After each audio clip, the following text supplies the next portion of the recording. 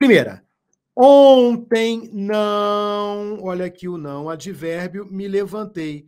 Pronome pessoal oblíquo anterior ao verbo, certo aqui.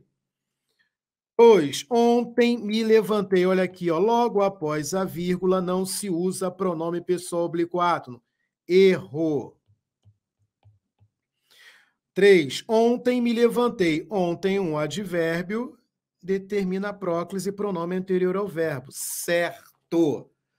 Então, em relação à colocação pronominal, quais estão incorretas? Olha aqui pelo nosso método 50, lendo para interpretar o que é incorreto. O que é incorreto está aqui no item 2. Somente o item 2 é incorreto. A, não. B, não. C, não. E, não. Delta.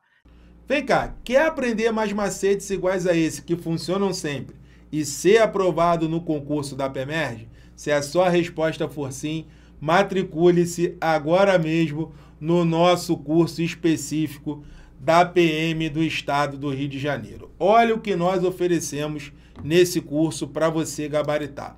Você vai levar um módulo de matemática básica para relembrar aquela matemática da Tieteteca, o um módulo completo de matemática.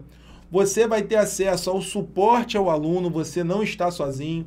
Todas as aulas terão suporte tira dúvida e mais quatro bônus. É isso aí. Você vai levar um estudo dirigido, um e-book, um cronograma é isso mesmo, um cronograma e mais seis meses de acesso. É isso mesmo, totalizando um ano de acesso ilimitado. E esse bônus é incalculável. Você já deve estar aí se perguntando, Marcão, quanto vai custar tudo isso?